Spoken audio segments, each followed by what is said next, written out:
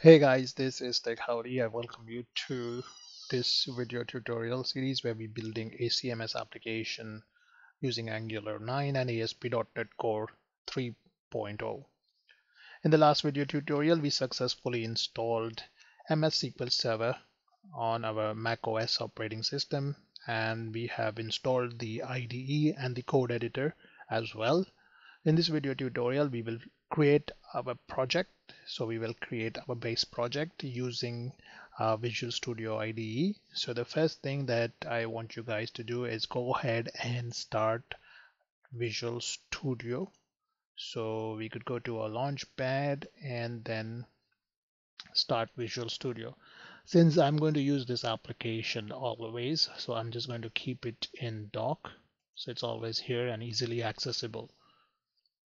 Now the next step that we want to do is go ahead and create a folder on our desktop. Let's call this folder as uh, CMS application or whatever you would like to name this folder. So I've named this folder as CMS underscore core underscore ng and you could name it whatever you like. I'll have all my project files inside this folder. Now the next thing that you want to do is go to search and open your terminal. Type in terminal, hit enter. You should have a terminal open. You could also keep it in your dock. Right click and keep the terminal in your dock. By doing this, you will always have it handy here in, in the dock. So what we would like to do here is we would like to check what .NET Core version of the SDK is installed on our computer. So to do this on a Mac, all we need to do is type the following command .NET dash dash list dash SDKs SDKs and hit enter. So as you can see, as soon as I hit enter, you will see that the version that displayed on the terminal is 3.1.3 which is basically the latest version of .NET Core available and while we installed Visual Studio IDE the latest version was installed at that point. If you are on Windows you could also check what .NET Core version you have SDK you have installed on your Windows machine by just going to this link which I will be providing in the video description all you have to do is depending on your operating system choose the options and you will have the command. It's pretty much the same for Windows Linux and for Mac OS so it should work. But there are also some other commands to check any other information that you want to check. So for example I want to check what's the uh, .NET runtime version installed so I can do .NET dash dash list runtimes and hit enter. So I have the following runtimes available for me for my application to run. So that is good. Now let's close our terminal. And now let's go to our Visual Studio IDE and click on the option new Now in the Visual Studio IDE, we'll have an option to create a project of different type, but here what we are focusing on creating a project which is built using ASP.NET Core. So under ASP.NET Core, the project that I want to create is the Angular app. So let's create the ASP.NET Core Angular app in C Sharp and then click next. So at the moment, I don't want to install or implement any authentication. So I will keep this option as no authentication and then click next. For the project name I'm going to name this project once again CMS underscore core underscore ng and I'll change the location to my desktop the folder that I created. So I'm not going to implement any git version control at the moment because I'll create a separate video for that and I'll show you how to do that. So let's just click create.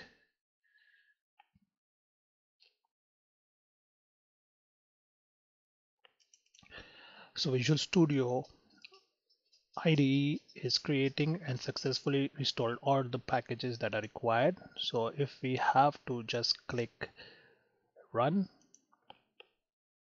application should start running on the browser, but we do have some errors. Let's first clean up and fix those errors.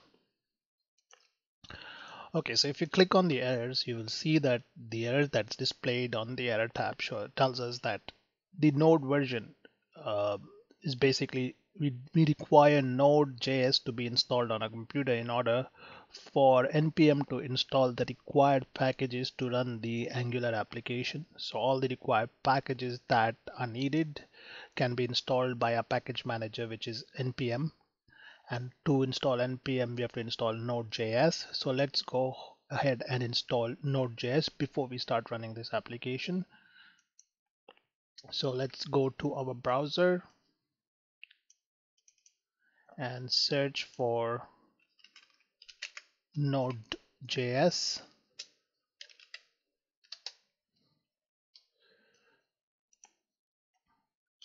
So Node.js, we have it here. So now the option that we have here is to download Node.js for Mac OS. But if you are on a Windows, it will automatically detect your operating system and give you the option to download Node.js for Windows. So I'll download the latest current version with latest features. So I'll click on that specific version and you, you can see that the file is being downloaded. Okay, so Node.js is now downloaded. So we have uh, that downloaded in our downloads folder. So let's click on this file here so that it starts running. Let's install Node.js. Click continue. And I click agree. Install. Supply my password. And now Node.js would be installed on my computer. Click close. This to trash. So to check if Node.js was successfully installed on my computer or on your operating system, you can open back your terminal and you can type the following command, which is npm dash dash v, which stands for version. So let's hit enter and it will tell you that Node.js was installed. So you will see a version number over here. So now Node.js is installed. So let's install uh, Angular globally on our machine.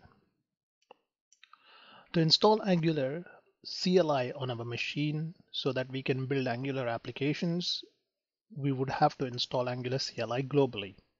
So the first thing that we want to do is using our package manager, which is npm, which is npm install dash g, which stands for globally. We will type the required package, which is Angular forward slash CLI. So by doing this, okay, so let's just increase the font size.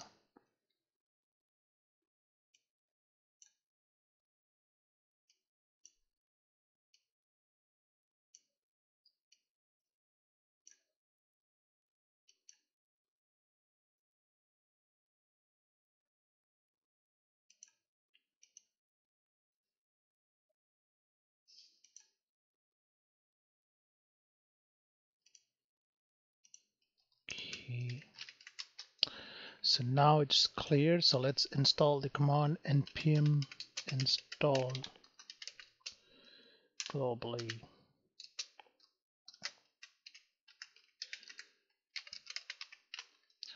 So that's the command that you're going to type npm install globally angular CLI. I'll provide the command in the video description.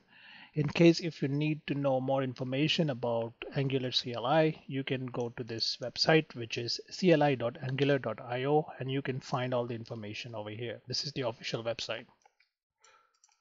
So let's click enter.